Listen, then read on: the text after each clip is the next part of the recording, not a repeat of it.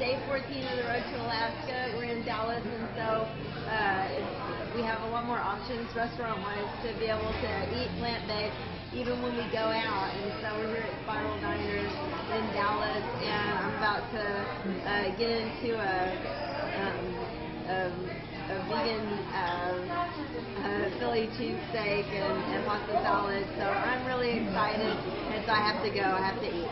All right. I'll uh, see you later. Day 14 of the road to Alaska. Woo!